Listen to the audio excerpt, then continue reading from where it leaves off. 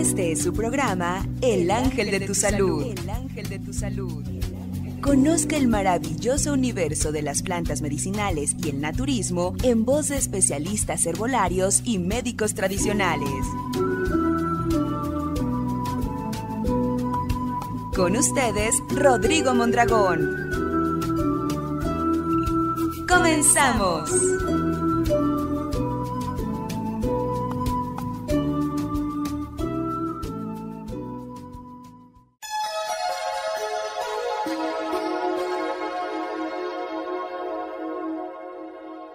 Hola, ¿qué tal amigos? Muy buenos días. Con ustedes, Rodrigo Mondragón, la voz del ángel de tu salud, con el gusto y placer de siempre. Vamos a platicar el día de hoy acerca de por diabetes, daños colaterales de la diabetes. Bueno, sabemos que la diabetes es un padecimiento grave, si no se atiende, si no se controla, que puede afectar los ojos, el corazón, los nervios, los pies y los riñones. Es importante comprender cómo la diabetes va a afectar nuestro organismo. Eso, el conocer, nos puede ayudar a seguir un plan de tratamiento. Y claro, mantenerse lo más saludable posible. Cuando la diabetes no está controlada, el nivel de azúcar en sangre aumenta. A esto se le llama hiperglucemia. El nivel alto de azúcar en sangre puede dañar los vasos sanguíneos del cuerpo muy pequeños. Los vasitos muy pequeños pueden ser dañados por la presencia de azúcar en la sangre. Sí, podemos pensar por analogía y llegar a una conclusión. Piense en lo que ocurre al azúcar cuando se lo olvida y lo deja en un recipiente destapado toda la noche. Se pone pegajosa, ¿no? Si acaso hay humedad ambiental, se pone pegajosa. Ahora hay que pensar, por analogía, en cómo el azúcar se pega a los pequeños vasos sanguíneos y dificulta que la sangre llegue a los órganos. El daño en los vasos sanguíneos suele ocurrir con más frecuencia en los ojos. Hay que recordar, ¿no? Suele ocurrir el daño en los vasos sanguíneos, en los ojos, en el corazón, los nervios, los pies y los riñones. Bien, hay que entrar al detalle, ¿no? Los ojos. Los ojos tienen para su circulación diminutos vasos sanguíneos. Tener niveles altos de azúcar en sangre durante mucho tiempo puede dañarlos. Algunos vasos sanguíneos pueden inflamarse o pueden debilitarse. Algunos otros pueden taparse e impedir que pase suficiente sangre. Y eso ya está provocando problemas en la visión o incluso ceguera. ¿Sí? Que la persona no vea nada. Luego, aunado a esto, hay presión arterial, muchas de las veces, ¿no? La mayoría. Entonces, ya hay diabetes, ya hay glucosa en sangre, ya azúcar en la sangre. Y luego aparte tenemos la presión arterial alta, pues eso empeora los problemas oculares. El daño ocular provocado por la diabetes se llama retinopatía diabética. Ahora veamos el corazón. Los niveles altos de azúcar en sangre también pueden dañar los vasos sanguíneos más grandes, que son los que aportan oxígeno al corazón y al cerebro. La grasa también se puede acumular en los vasos sanguíneos. Hay que tenerlo presente también para en nuestra formulación utilizar plantas que eviten que la grasa se acumule. Sí, hay que eliminarla. Ya tenemos el problema bastante complicado. Glucosa en sangre, presión arterial alta y ahora la grasa. Entonces ya se pueden dañar los vasos sanguíneos más grandes, pues estamos hablando del corazón también, no solo de la vista. Estos depósitos de grasa pueden romperse. Se desprende, ¿no? Donde están atrincados, donde están atorados. Sí, ahí donde están pegados, ¿no?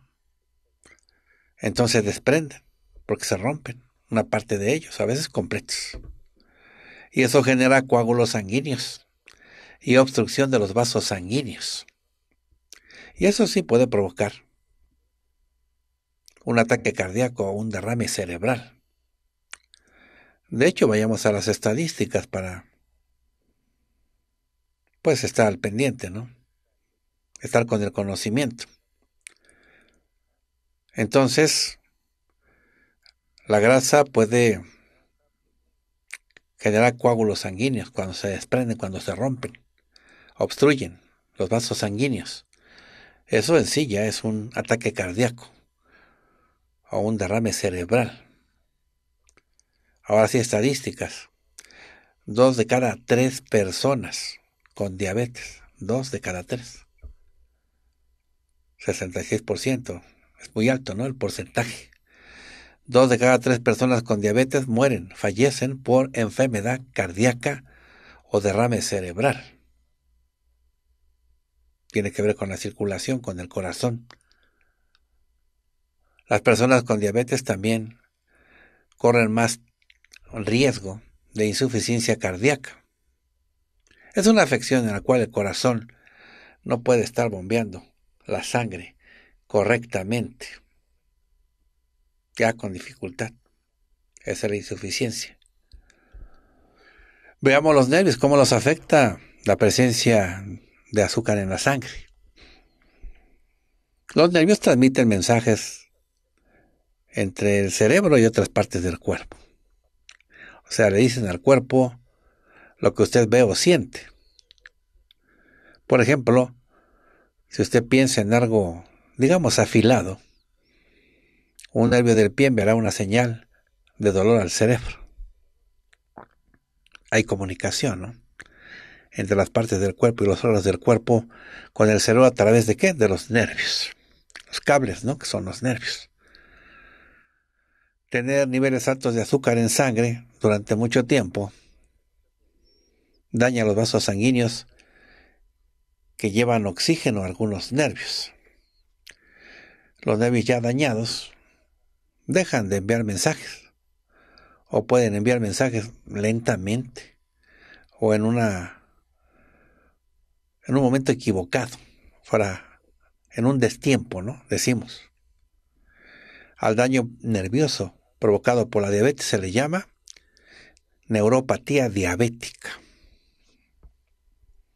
Veamos la afectación en los pies por la presencia de azúcar en la sangre. La diabetes puede dañar los pies, digamos, de dos maneras. En primer lugar, puede dañar los nervios de los pies, como ya lo vimos. El daño de los nervios impide que sienta dolor u otros problemas en los pies, o sea, pierde la sensibilidad. Por lo tanto, pues se puede accidentar. Puede tener objetos en el calzado que estén lastimándole el pie, rompiendo el pie, lacerando el pie. Otra forma, eso es primero por que al dañarse los nervios, pues ya no siente nada. No se cuida entonces. Otra forma es que en que la diabetes puede dañar los pies es debido a una mala circulación sanguínea. O sea, ahí tiene que ver la circulación, no solamente los nervios, sino también la circulación. Un flujo sanguíneo deficiente dificulta la cicatrización de las llagas, se le forman llagas, o la resolución de una infección. Si las llagas no cicatrizan y se infectan, esto puede llevar a la amputación la gangrena, ¿no? La amputación, que también tristemente se ha vuelto común en las personas con diabetes. Los riñones. Veamos la relación que tienen en lo que se refiere al daño por la presencia de azúcar en la sangre en los riñones. ¿Cómo los afecta? Bueno, cuando Pensamos en los riñones, es como si pensáramos en un filtro de café. Cuando se prepara café, el filtro evita el paso de los granos de café, pero permite el paso del agua, ¿no? Ya con el café inmerso, ¿no? Disuelto, pero no los granos. Bueno, los riñones hacen algo similar. Mantiene las cosas que necesitamos dentro del cuerpo, pero filtra desechos y líquido adicional, la orina. Los riñones están llenos de diminutos vasos sanguíneos. Con el tiempo, los niveles altos de azúcar en sangre pueden hacer que esos vasos sanguíneos se estrechen, se tapen, se dañen, ¿no? Y eso hace que los riñones reciban menos sangre. Y a medida que los riñones reciben menos sangre, pues salen menos desechos, sale menos líquido adicional del cuerpo. La enfermedad renal provocada por la diabetes se llama enfermedad renal diabética. Es la causa principal de insuficiencia renal en las personas con diabetes. Veamos la gravedad que representa la enfermedad renal. Tener enfermedad renal es muy grave, incluso sin diabetes. A veces ocurre no necesariamente con diabetes, a veces sin diabetes. Si no tratamos la enfermedad renal, pues puede provocar enfermedad cardíaca y de los vasos sanguíneos.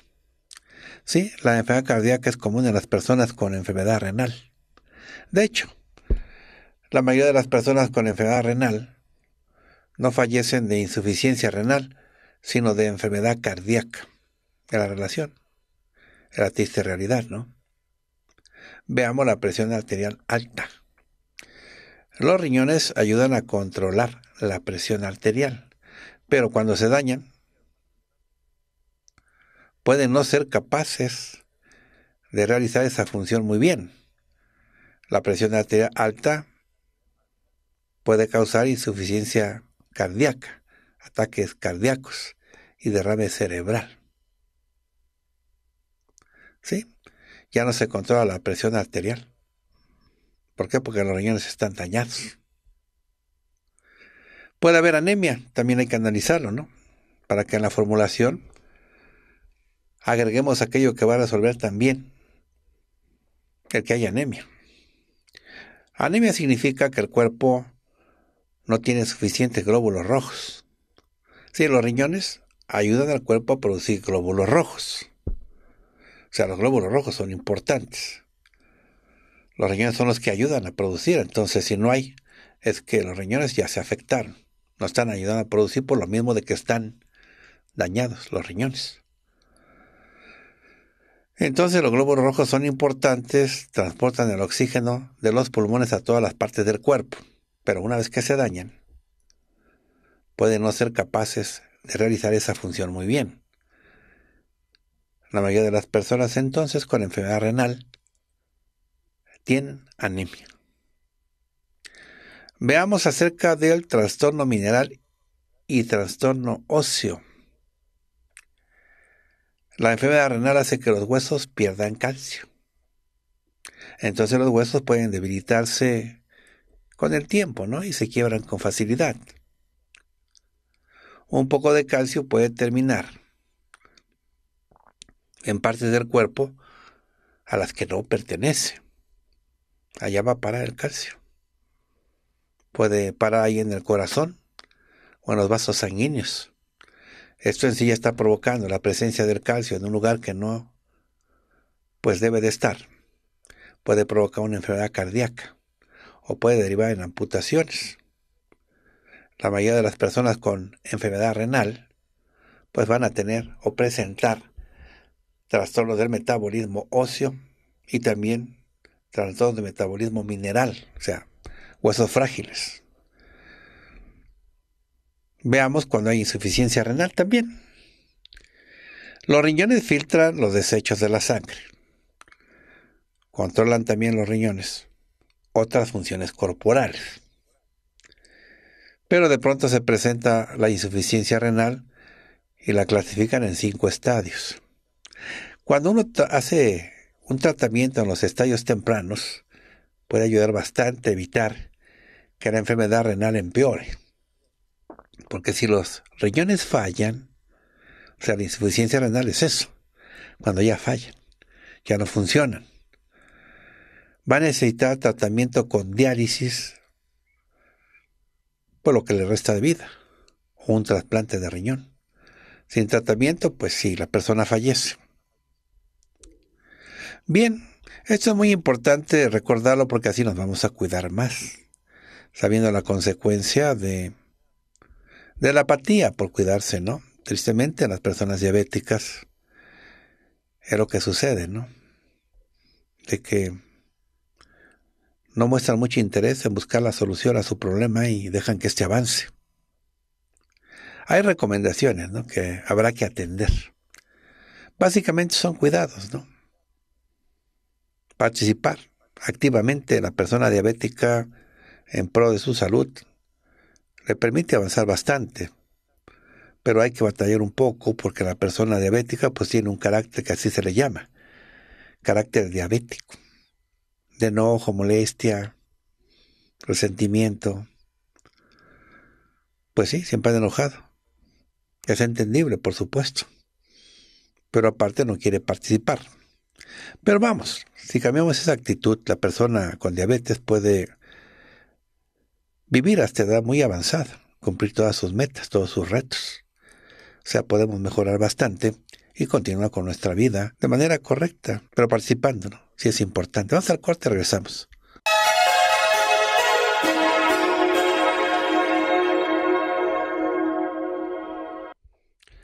Bien, continuamos. Estamos platicando entonces acerca de cómo atender tempranamente, ¿no? Hacer tratamientos precoces, ¿no? Antes de que haya daño. Controlando la diabetes. Sobre todo fortaleciendo los puntos en los cuales más adelante, si tenemos el conocimiento, ya lo sabemos, nos puede afectar a otras partes de nuestro cuerpo. Entonces pueden fortalecer bastante bien para que no mine nada esté definitivamente blindada la parte, ¿no? Con tratamientos efectivos. Es lo que tenemos que hacer, ¿no? Controlar la diabetes y controlar los daños que puede ocasionar más adelante si estos se conocen. Y los conocemos. Ya estamos platicando acerca de eso. Decía yo que tenemos que participar, ¿no? En el padecimiento. No podemos atenernos solamente a lo que, pues, una terapia puede proporcionarnos. Porque entonces el tiempo que se va a llevar va a ser más largo, ¿no? En cambio, si participamos, se acorta bastante.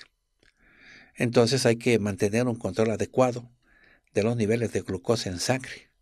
Eso ayuda a prevenir o retrasar el desarrollo de complicaciones. Entonces, pues hay que establecer metas de glucemia, seguir con los planes de tratamiento y salimos adelante bastante bien. Hay que controlar la presión arterial. Hay que controlar el colesterol.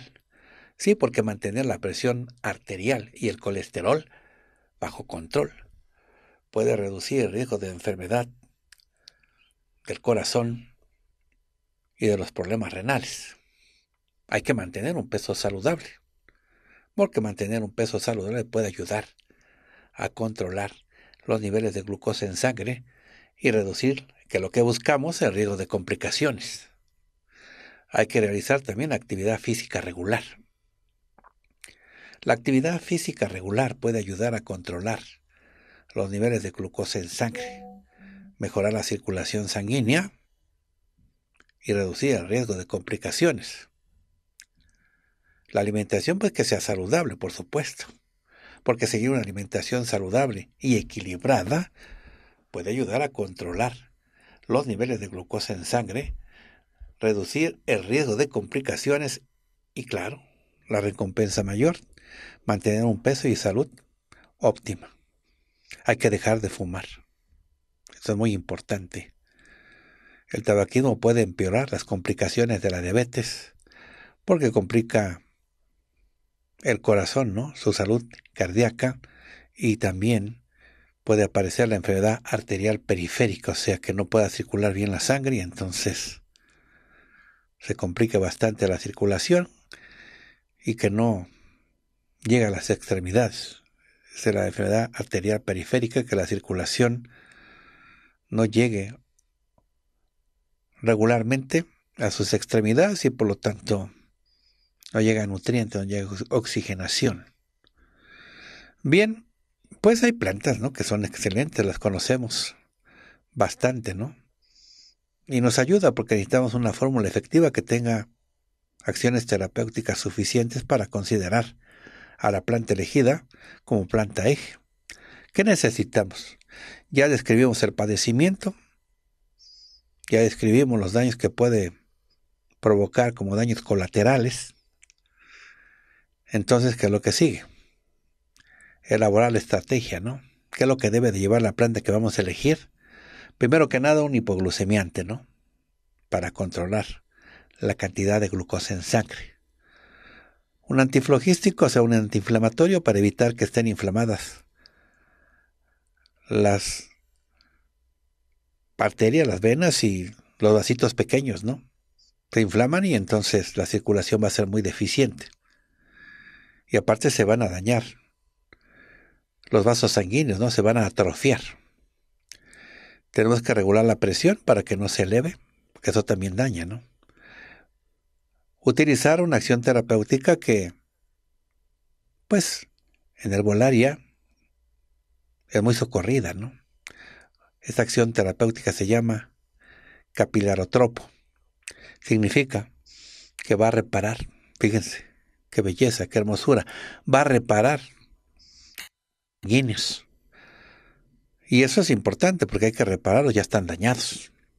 Tenemos que utilizar plantas hipolipemiantes, pues para que baje la cantidad de grasa en sangre. Y también prevenirnos, ¿no? Con un anticoagulante para evitar taponamientos, para evitar que vaya a haber un infarto, un accidente cerebrovascular, una isquemia, cualquier cosa de esas que pues son siempre opresivas y llegan a ser bastante graves. Ah, bien, entonces vamos a elegir nuestras plantas, puede ser la tronadora entonces.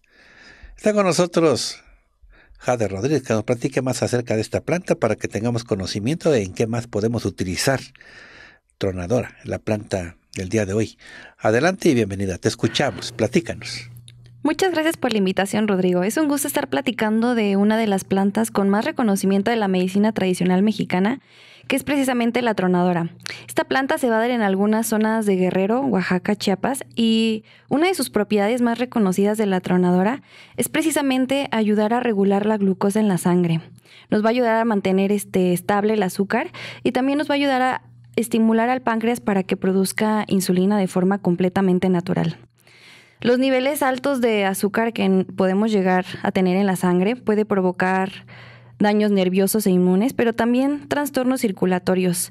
Estos trastornos circulatorios pueden causar daños en los nervios y estos dejan de enviar mensaje a diferentes partes del cuerpo, y esto provoca que haya esta falta de sensibilidad en extremidades, que podamos llegar a sentir este entumecimiento. Bueno, pues también en estos casos podemos utilizar la tronadora para precisamente proteger al páncreas, proteger al sistema nervioso y también mejorar su funcionamiento.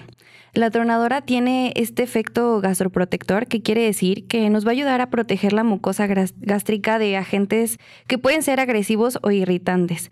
La tronadora va a atender estos problemas digestivos que pueden pasar desde dolores de estómago, empachos o malas digestiones, o también cuando ya hay problemas más severos como la presencia de úlceras.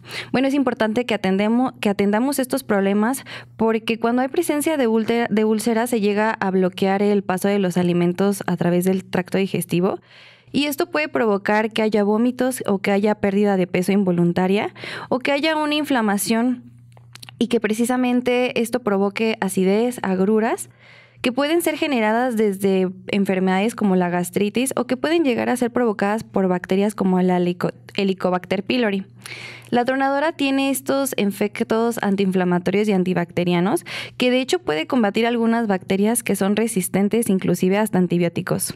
Sabemos que cuando hay presencia de problemas intestinales pues no se aprovechan los nutrientes como, como debería y esto puede provocar que haya una deficiencia de vitaminas y minerales en nuestro cuerpo que nos hagan sentir agotados porque precisamente no estamos alimentándonos correctamente. Entonces también la tronadora es una planta que al mismo tiempo es nutriente y nos va a ayudar también a aumentar el apetito. La podemos utilizar cuando hay presencia de anemia, porque estos le va a brindar los nutrientes a la sangre para que precisamente de ahí lleguen las células y va a funcionar como un excelente tónico sanguíneo y depurador. La tronadora tiene esta propiedad antibiótica que puede ser aprovechada desde la infusión de la planta o también aplicándola en la zona afectada en la piel para cicatrizar heridas o llagas. Sus propiedades van a evitar que haya esta exposición de bacterias eh, causantes en las infecciones y tiene esta propiedad de ser vermífuga, es decir, que nos va a ayudar a expulsar las lombrices intestinales, amibas o protozoarios que, que, estos llegan a generar precisamente hinchazón o que no podamos tener una correcta digestión. Es una planta también diurética que nos va a ayudar a eliminar la retención de líquidos y también es un tónico renal, que es decir, que nos va a ayudar a dar vigor, fuerza y mejorar su funcionamiento. Tiene esta capacidad de ayudar al riñón a producir más orina y al producir más orina nos va a ayudar a desintoxicar la sangre de contaminantes o toxinas que se pueden adquirir del medio ambiente. Es una planta tónica amarga que también nos va a ayudar a fortalecer al hígado, lo va a depurar y también va a mejorar su funcionamiento. Entonces, también es excelente para personas que tienen hígado graso. Es un tónico intestinal con el que podemos depurar y limpiar también el intestino. Cuando una persona tiene el intestino sucio, es normal que aparezcan brotes de alergia, ronchas en la piel. Y es una forma de avisar del cuerpo que algo no está funcionando correctamente.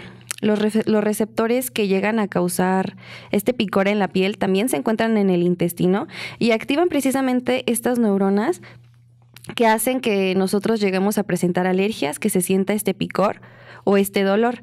Normalmente los pacientes con síndrome del intestino irritable, pues bueno, son más propensos a presentar este tipo de alergias. Recordemos que la piel es el reflejo de la salud física y mental interna. La piel nos habla de cómo estamos por dentro. Todos estos procesos inflamatorios en la piel no deben tratarse solamente externamente, sino también hay que atender internamente. Y la tronadora es precisamente la indicada para aliviar estas alteraciones nerviosas y combatir estos cuadros de ansiedad que se pueden llegar a presentar. Recordemos que también el estrés se puede reflejar en la piel a través de enrojecimiento, picor o incluso eh, este tipo de urticarias que pueden desencadenar incluso otros problemas más severos como la dermatitis o la psoriasis. La tronadora, bueno, va a tratar estas alteraciones nerviosas para que precisamente se relaje el organismo ante estas, este tipo de situaciones. Sin duda es una planta que podemos utilizar para brindar una depuración sanguínea general y también mejorar la salud de nuestros órganos como el páncreas, hígado y los riñones. Regresamos contigo, Rodrigo. Vamos al corte, regresamos.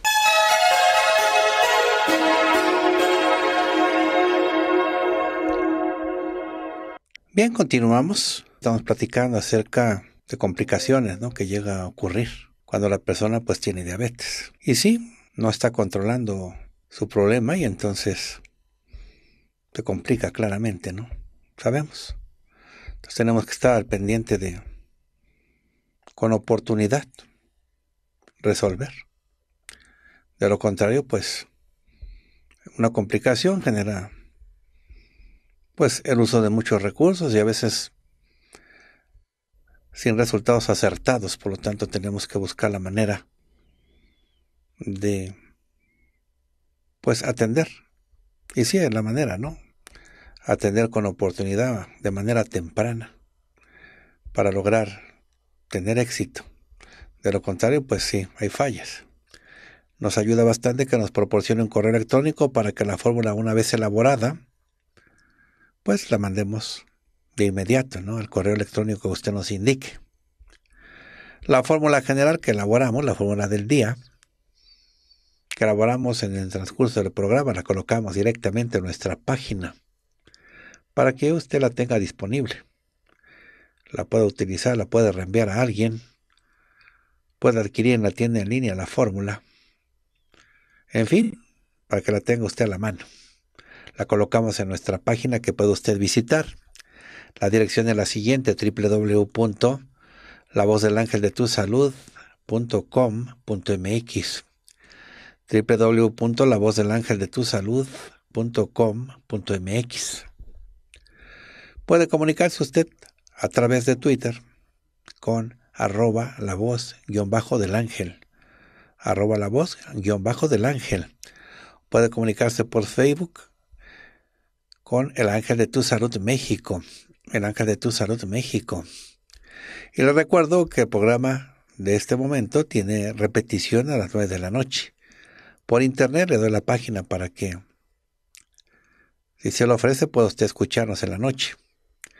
www.radiolavozdelangeldetusalud.mx www.radiolavozdelangeldetusalud.mx Bien, ahora aprovechamos para mencionar a nuestros patrocinadores. Tienda en Ixtapalapa, tienda autorizada en calle Enrique Corona número 14, casi esquina con avenida Ermita Ixtapalapa y a pocos pasos y espaldas de la estación del metro Estación Ixtapalapa.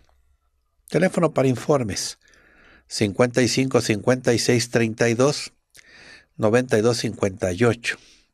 55 56 32 92 58 y la atención es de lunes a sábado. Centro de Asesoría Arbolaria en Xochimilco, Ciudad de México, en Avenida Morelos, número 128, local F, barrio de San Pedro Xochimilco entre Cerrada de Morelos y calle Cuauhtémoc y a dos cuadras de la estación del tren ligero estación Xochimilco y a dos cuadras también del mercado principal. Anotamos el número telefónico 55 56 41 95 68. 55 56 41 95 68. En la Merced, Centro de Asesoría Herbolaria, en Avenida Anillo de Circunvalación número 1016, Interior 2, Colonia Merced Barbuena, cerca del Metro Estación Merced. Teléfono 55 26 12 34 79 55 26 12 34 79 en, en Ecatepec, Estado de México, de reciente apertura, en Avenida Insurgentes número 8 en San Cristóbal Centro, en Ecatepec de Morelos, Estado de México, a dos locales de Banorte y en contraesquina del Palacio Municipal, teléfono 55 57 70 68 40. 55 57 70 68 40. En Zumpango, Estado de México, Zumpango, Estado de México, Tienda autorizada en Plaza Juárez, número 40, primer piso, barrio de San Juan, entre calle Mina y José María Morelos, frente al Palacio Municipal y junto a la parroquia de la Purísima Concepción.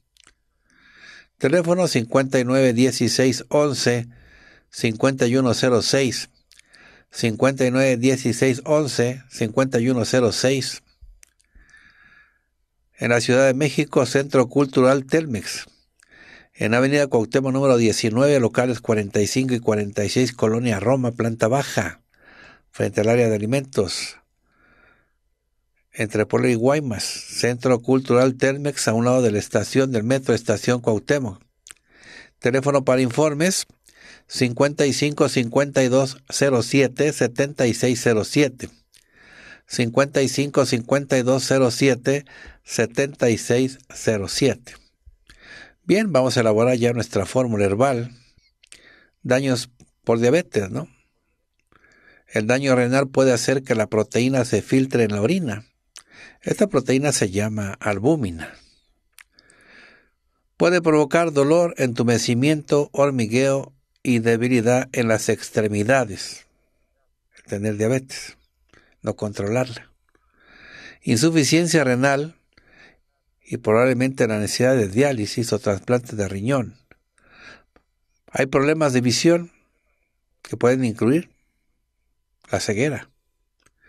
Puede afectar la circulación sanguínea y la sensibilidad en los pies, lo que puede provocar úlceras y amputaciones. Dios quiere y no. Mayor riesgo de infecciones de la piel y problemas de cicatrización de heridas. Son algunos de los daños por diabetes. Bien, vamos a elaborar nuestra fórmula. Tronadora, bechú, tejocote, es la raíz de tejocote, raíz de tejocote. Nogal de macadamia, suelda con suelda, guareque. Nuevamente tronadora, bechú, raíz de tejocote, nogal de macadamia, suelda con suelda, guareque. Mezclamos las plantas juntas por partes iguales, ya mezcladas una cucharada sopera para un litro de agua, 10 minutos de hervor. Se toma antes de cada alimento. Antes de cada alimento. Ahora, suplementos. Ortiga con vitamina D3.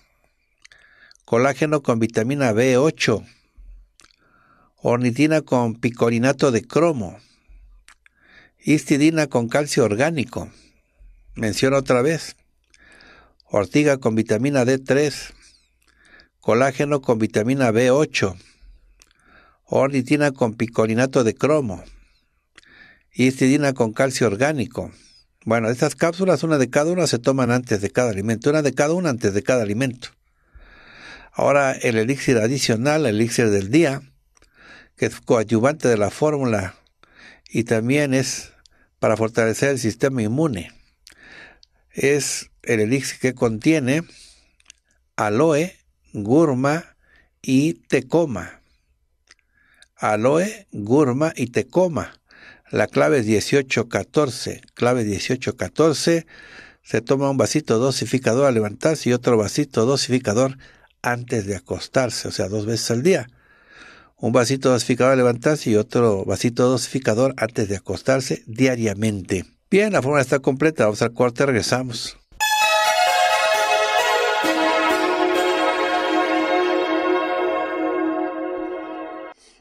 Continuamos. Vamos a dar asesoría de bodega a las personas que nos llaman vía telefónica. Vamos a elaborar fórmulas. Lo hacemos con gusto. Iniciamos. Buenos días, ¿con quién hablo? Hola, Miguel, buenos días. Bien, adelante, te escucho. Oiga, tengo problemas de, de la presión, tengo problemas de diabetes, tengo problemas de la vista borrosa con glaucoma, tengo difusión Sí. eréctil. Espero que me pueda dar una fórmula para Con mejorar mi salud. Claro que sí. Es todo. Sí, sí, sí, porque de hecho médicamente me han dado, pero son demasiadas medicinas los que me están dando de momento. Bueno, ¿qué edad tienes? 52 años, ¿Cuánto pesas? 83 kilos, ¿Estatura? 1,63. Bueno, hagamos la fórmula. Bien, entonces empezamos. Utilizamos tehuasteco, Sí. retamón, carape, damiana de San Luis, grama, miren rama. Entonces fue tehuasteco, retamón, carape, damiana de San Luis, grama, milen rama. Las plantas juntas por partes iguales, ya mezcladas. Una cucharada sopera para un litro de agua, 10 minutos de hervor. Se toma como agua de uso. Cápsulas. Utilizamos trébol amarillo, cineraria, ácido espártico con vitamina B5, levadura obesa. Por lo siguiente, trébol amarillo, cineraria, ácido espártico con vitamina B5, levadura de cerveza. Una de cada una de estas cápsulas antes de cada alimento. Me dio gusto atenderlo. Continuamos. Atiendo a la siguiente persona. Buenos días, ¿con quién hablo? Guadalupe Campuzano Espinosa. A ver, Guadalupe Campuzano, La fórmula es Ah, para mi hermano Lázaro Campuzano. tu hermano. ¿Qué edad tiene tu hermano? 62 años, ¿Cuánto pesa?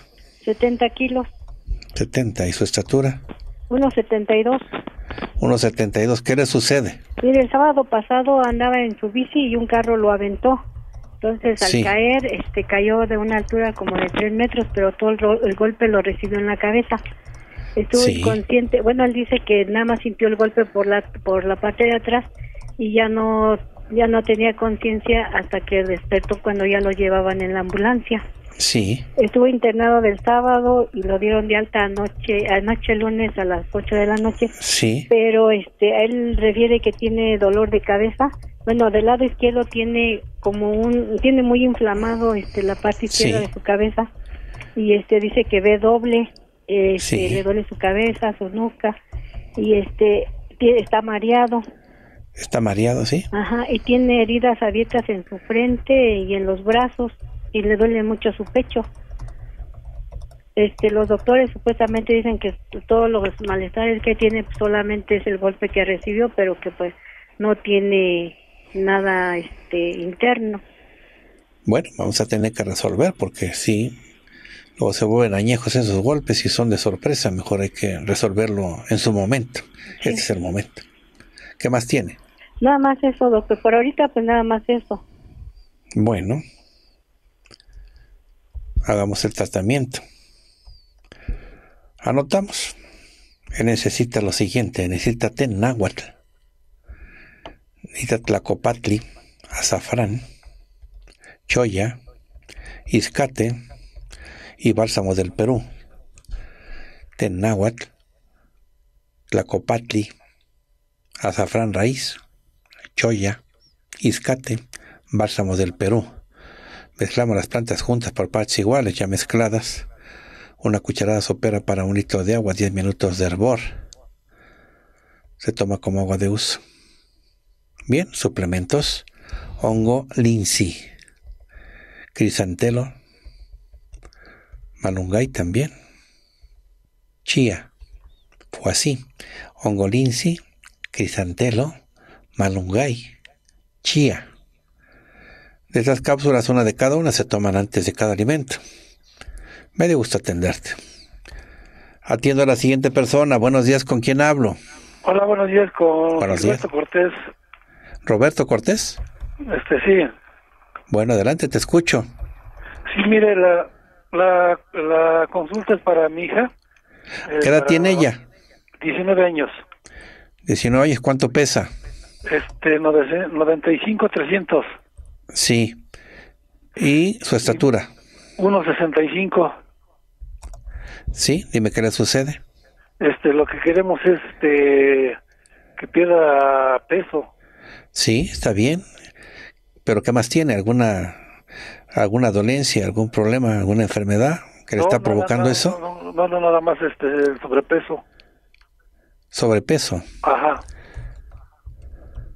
¿Eso es todo? Que sí, eso es todo. Es más el sobrepeso, es lo que estamos luchando sobre, contra el sobrepeso. Sí, está bien. Vamos a hacer la fórmula. Vamos anotando. Utilizamos caña fístula, abedul blanco, hierba mora, pata de león, a ver, pata de león, parra, también parra, flor de ocote. Bien, mencionamos caña fístula, abedul blanco, hierba mora, pata de león, parra, flor de ocote. Mezclamos las plantas juntas por partes iguales, ya mezcladas. Una cucharada sopera para un litro de agua, 10 minutos de hervor. Se toma como agua de uso, se tiene que tomar como agua de uso constantemente. Bueno, ahora vamos a buscar suplementos. Utilizamos faciolamina, licopeno, lecitina de soya también y aceites de omega 3, bacalao y salmón. Mencionamos de nuevo faciolamina, licopeno, lecitina de soya, aceites de omega 3, bacalao y salmón. Vienen juntos esos tres. Te toma una de cada una antes de cada alimento. Me dio gusto atenderte. Bien, ya nos vamos. Gracias por su atención, gracias por su compañía. Jade, muchas gracias por tu participación. Un placer, Rodrigo. Muchas gracias. Bien, me despido con una frase de John Locke. Frecuentemente hay más que aprender de las preguntas inesperadas de un niño que de los discursos de un hombre. Hasta luego, que esté muy bien. Este fue su programa El Ángel de tu Salud. El Ángel de tu Salud. El Ángel de tu Salud. El Ángel de tu Salud. Escúchenos de lunes a viernes por esta estación.